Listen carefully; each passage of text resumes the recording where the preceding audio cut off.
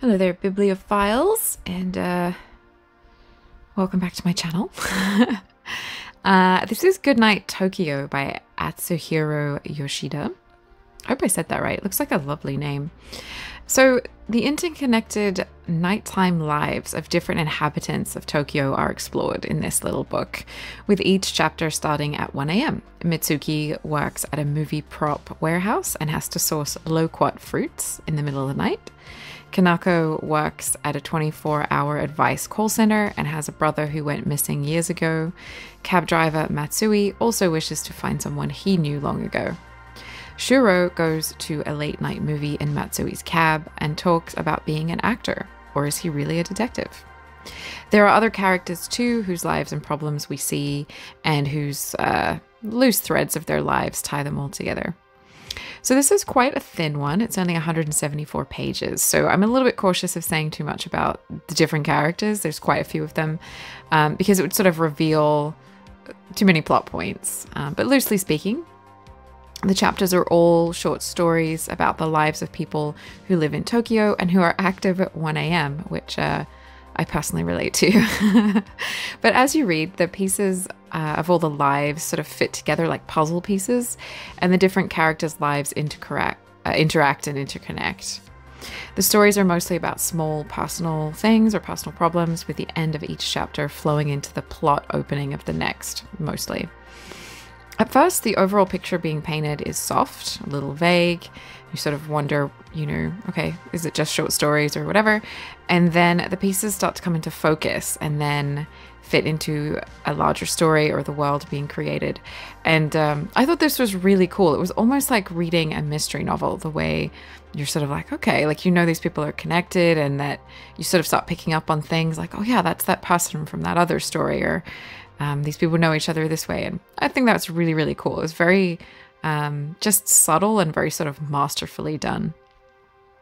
So Ats- uh, Atsuhiro Yoshida, uh, the author, was born in 1962 and is already a best-selling author in Japan with over 40 books to his name. Um, having been published in several languages already, this is his first book translated into English, and I'm super curious about his other books. I hope that this will be the first of many um, that will be available in English soon, fingers crossed. So, while there's an ensemble cast in this book, perhaps the main character is Tokyo itself. In a way, the book shows an amalgam of angles on the city, but perhaps it is also a love letter to the city too. For its residents, in their own words, sometimes the city is boring, often a very lonely place at night, quieter since an economic downturn. In the story, the old is respectfully replaced with the new, especially old technology and means of communicating. Something about the call center advice line that Kanako works at felt very Japanese to me, though I couldn't necessarily tell you why. Um, the avi- like advice lines are universal, but the loneliness and isolation of some of the callers and its professional setup sort of felt unique, like something very Tokyo to me.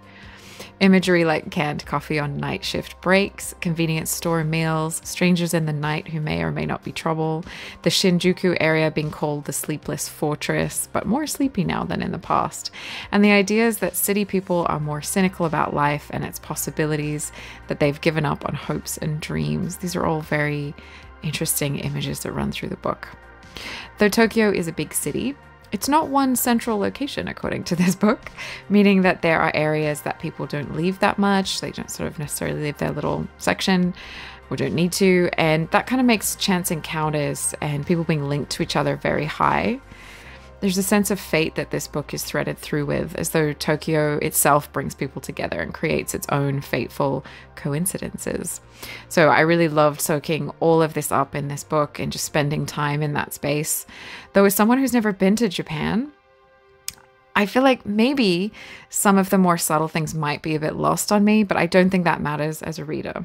Um, yeah, it's like the city itself is seen reflected in glass, and you find it by the way that everyone else lives their lives and is shaped by it.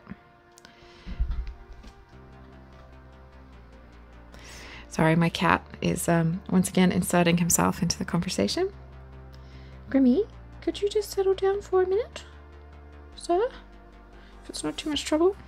I think he just thinks I'm here to read him a story personally every time I record. anyway, this is a lovely small book with its vignettes of people's lives that reflect their larger uh, inner lives and concerns all at 1 a.m., with the kind of pondering that that late night hour tends to bring out in us. That late hour makes the whole sometimes a little dreamlike, and a lot of the problems, while impactful issues, do not have major stakes or major, major emotional damage involved. There's a sense of the city taking a hand and uh, putting people's you know solutions to their problems coincidentally to hand and um, I found this to make it a more gentle and relaxing kind of read. Everything felt quaint and mostly very safe, cozy, and benign. But that's not to say that the book doesn't have stakes or that real world things don't happen here, but that after the level of, you know, to me, like drama and emotion, and we're sort of bombarded with world events all the time here where I live. uh, or even the strong messaging and this sort of urgent immediacy and trauma of the current Western or especially North American novel, at least the ones that I am being offered by publishers to read and share with you. I mean, this just felt so much more like normal, real, everyday life, honestly, and it was um, it's refreshing. So, um, is this book for you? I would say read it if you like the ham and egg set at your Japanese corner diner. This is a wonderful literary fiction book about intersections of places, people, and lives, and I highly recommend this one. It's so it's so well written and so interesting, um, but it's also just a little bit different and refreshing too. So I really like this one. Um, and thank you to PGC Books who sent me this book to review and share with you guys.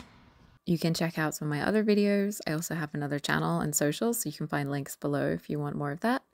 And if you want to hang out again, remember to like and subscribe.